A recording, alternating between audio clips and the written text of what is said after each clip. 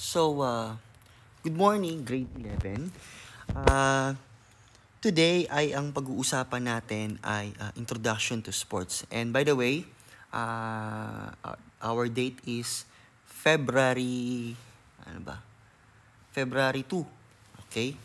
Uh, nataon na wala na may pasok pa rin tayo, no? So, bukas ay walang pasok which is February 3, di ba? Uh, ano bang meron diyan? Nakalimutan ko. Excuse me. Nakalimutan ko kung anong meron diyan. Uh, kahapon ay uh, walang pasok, no? Kasi kung hey patchoy, di ba? Eh, anyways, last meeting or last last week, napag-usapan natin yung uh, topic na may kinalaman sa history of sports, right? Uh, natutunan natin last last meeting or last meeting rather na ang sports ay nung unang panahon ito ay ginagawa na ng ano, ginagawa na ng mga tao noon. Hindi lang sila aware. Okay? And ang mga sikat na nag-umpisa na ito, na do hindi pa nila alam na uh, sports pala yung term nila, is yung mga ro- Romans and mga Greeks, di ba? Uh, napag, napag-usapan natin last, last time na uh, ang pamamaraan nila ng pag-execute ng sports is pakikipagdigmaan na kung saan ang objective ay dapat masakop nila yung isang specific na lugar. Right? Then, sumunod na develop na ito, uh, naging representative na lang yung kanilang kailangan at ipapakita nila yung kanilang kalakas at uh, ang kanilang kakayahan. Ano? Though, nandun pa rin yung eagerness kasi syempre, nire-representa mo yung inyong lugar eh, di ba? Then afterwards, na-develop daw ulit at nagkaroon na tayo ng set of rules. Then, nagkaroon na tayo ng tinatawag na sports. Now, uh, today, uh, ipagpapatuloy natin ito, itong dis, uh, discussion natin uh, regarding sports. But, uh, we're going to focus the sports itself. No? Magpo-focus tayo mismo doon sa sports. Uh, saan to nag, uh, ano yung ibig sabihin niya, ano yung nakapaloob dito sa sports na ito. So, yun po yung ating pag-uusapan ngayong uh, araw na ito. Okay, so let's start. Introduction to sports. Sports defined as uh, originated from an old French word. So, ibig sabihin, ito daw ay nanggaling sa French word na desport.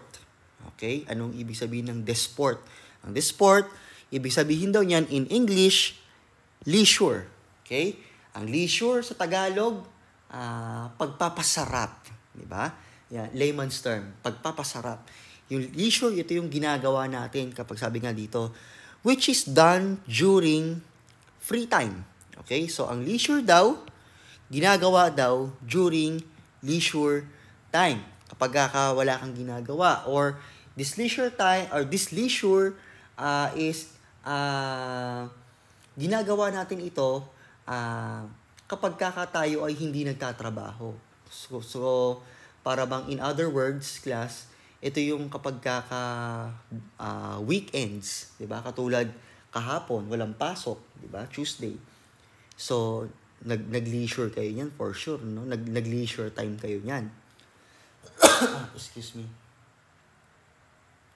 So, um, yun yung leisure. Kung mag-ibig sabihin class, yung sports ay uh, nag-umpisa doon or pinanggalingan niya itong leisure which is uh, the sport no?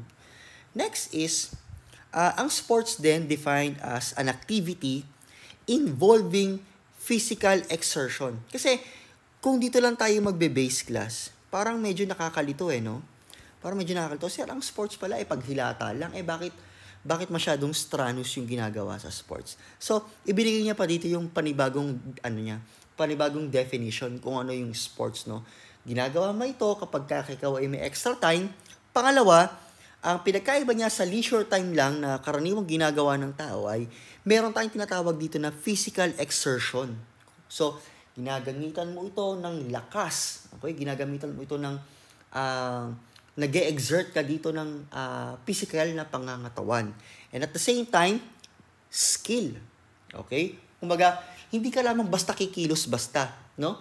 Hindi ka lamang uh, ari-ariya ka lang, kikilos ka lang ng kikilos. So, ang, ang, pamar, ang pamamaraan ng pagkilos dito sa sports ay ginagamitan ng skill o ng kakayahan, yung logic natin, di ba? Yung ating common sense, okay, na ginagamit natin sa sports, no? That is governed by a set of rules, ba? Eh, syempre, di ba, sa leisure time natin, yung typical, yung Netflix and chills lang. So, while uh, eating your uh, snack, di ba? Napakasarap niyan lalo ngayon may bagong labas na ano na series na naman yung Korean. Nakalimutan ko yung title eh. But anyways, uh, yun walang set of rules yun. Alam ka namang dapat alam mo yun, gets yung baklas, parang wala, wala, walang set of rules yun. Yun yung pinagkaiba niya sa sports. Okay? Ang pinagkaparehas lang niya, ginagawa natin ito kapag tayo ay merong free time. But aside from that, magkaibang magkaiba yung leisure time na alam natin compare dito sa this sport na in-relate nga dito sa leisure, no? Which is, ito ay merong physical na pagkilos, ginagamitan ito ng skill, and at the same time, merong rules dito na sinusunod. At ang pinaka-objective nito ay nakipagkompetensya ka, okay? Or competitively. Customs and often undertaken competitively. Kumbaga, meron ka ditong kakompetensya. Meron kang dapat talunin dito. Okay? So, yun po yung ating ibig sabihin ng sports. Now, sports in ancient times, or in ancient times, in 776 BC, the Greeks held the first Olympic Games. Okay? Yung yung at yung Olympic Games na alam natin ngayon ay uh, ang pinagmulan pala niyan ay mga Greeks. Okay? So uh, nag-start daw yun nung 7, uh, 776 BC. Okay? Which was a festival dedicated to their god, Zeus. So, uh, kaya pala nila ginawa itong Olympics na ito. So, again, natandaan natin ha, pag pinag-uusapan ang Greeks patungkol sa kanilang festival, hindi ito yung parang kainan. Hindi ito yung parang uh, may mga banderitas. Kumbaga, approach natin yung mga Pinoy eh. Sa kanila, pag nagkaroon ng festival, pupunta sila dun sa stadium, Pagkatapos, nandun yung mga participants, magpapakita sila ng iba't ibang mga iba't ibang kakayahan o lakas. Okay? So magpapaligsahan pa rin yan. Parang related pa rin sa pakikipag-away or sa pakikipagdigmaan. Pero ang objective na, gaya na nabanggit ko sa inyo, is to present your skill. So, ginagawa daw nila yung class upang uh, mag-offer ng kanilang uh, uh, or thanksgiving or baga ganon. So, baga parang meron silang pag-o-offer dito no sa kanilang god na si Zeus. So, yan po ang uh, first uh, Olympic Games. 776 BC nag-start. Next, classification of sports. Uh, there are uh, three classification of sports, no? Namely, individual sports, dual sports, and team sports. Last time, ay uh, na-discuss natin sa inyo o na-discuss ko ito sa inyo through video again na itong individual sports, so technically speaking, wala ka ditong kakampi. Okay? Now, meron yung advantage and disadvantage. One of the disadvantage nito ay uh, uh, one of the advantage is uh, makokontrol mo yung ano, yung uh, yung result ng game, no? Kumbaga, wala kang wala kang sisisihin dito kasi ikaw lang yung participant doon sa nire-represent mo na team. Tapos, ang disadvantage, kailangan mag-ensayo ka ng mabuti dito kasi nga hindi ka dependent or hindi ka wala kang means or way to be to be uh, a dependent person to your uh, uh, teammates no kasi nga individual siya. Now, in dual sports, uh, technically speaking class, meron ka diyang kakampi. Okay? So again, meron din yung advantage and meron din yung disadvantage. One of the disadvantage, uh, one of the advantage is uh, kapag lack ka or mer insufficient yung iyong kakayahan sa specific na na aspect sa sports, pwede kang matulungan ng iyong kagrupo. Okay? Halimbawa, kung medyo mabagal ka, eh mas mabilis naman yung kakampi mo, pwede siya na yung humabol tapos ikaw na lang yung mag-aabang nung receive or ay ikaw na lang yung mag ikaw na lang yung mag-aabang nung ano or ikaw yung magre-receive nung uh, ibabalik na bola sa inyo. So something like that, no. Ngayon, isa sa mga disadvantages naman uh, kapag hindi kayo ano, hindi hindi wala kayong synergy or hindi kayo harmonious maglaro. Kumbaga wala kayong uh, connection na tinatawag, di ba? So, napakahalaga niyan na ma- maintindihan natin yung advantages and disadvantage at the same time. So, again, dual sports, meron ka diyang isang kakampi.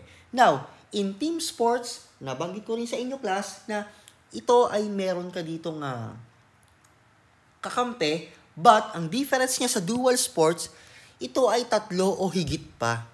Sabihin, uh, dapat tatlo kayo or mas marami pa para matawag kayo na team sports like basketball, volleyball, or minsan yung uh, ano pa ba? Ano ba mga sports yung madami? Baseball, ba? Madami yan. So, yung mga tatluhan siguro, pwede yung ano, running, 'di ba? May nakita ko niyan sa sa Olympics eh, no, sila Usain Bolts, no, tatlo silang Jamaican. So, pasa-pasa sila. Pag na, na, na-accomplish mo na yung uh, yung track, iba naman yung tatakbo. So, tatlo sila. Team sports ang tawag natin diyan. Next, classification of sports according to level. Ngayon class, meron tayong dalawang uri. Number one is the amateur, then second is the professional. But let's start with amateur. When we say amateur class, po, excuse me ha,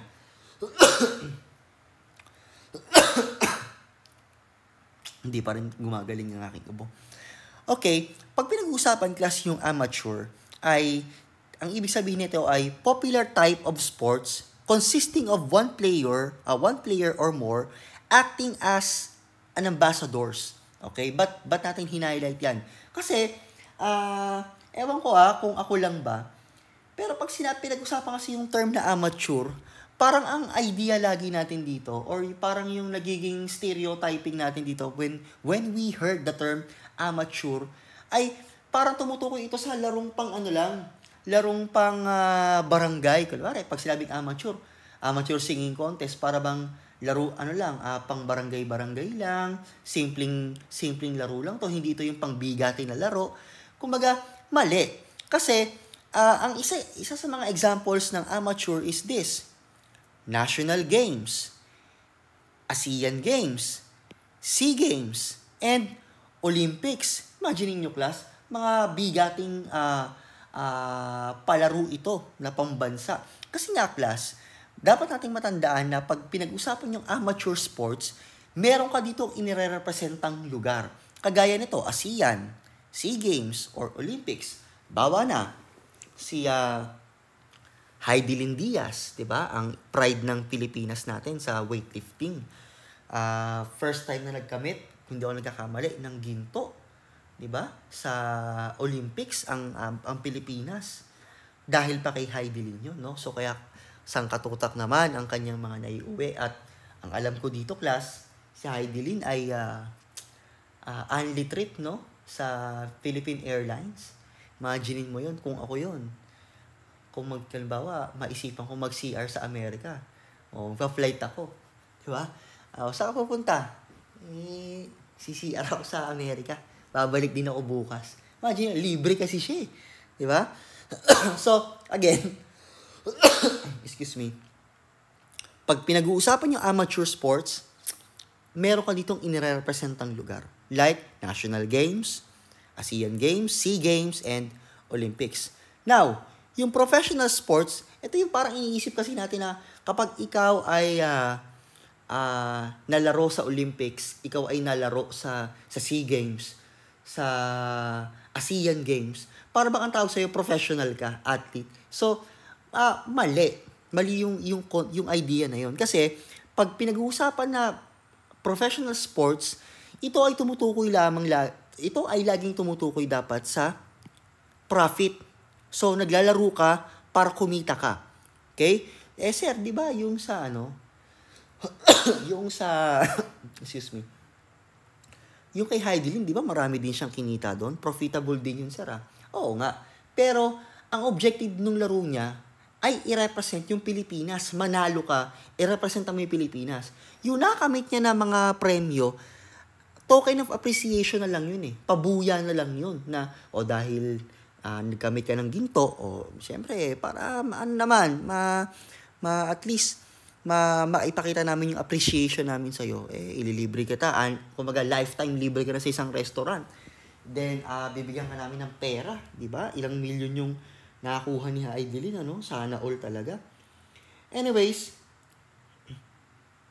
intindihan natin class na itong professional ay uh, ang pinaka-objective talaga nito, kumita ka ng pera. Parang boxing, halimbawa, si Manny Pacquiao, hindi lalaban yan ng ano, ng ng irarepresenta mo lang Pilipinas, kalokohan yun.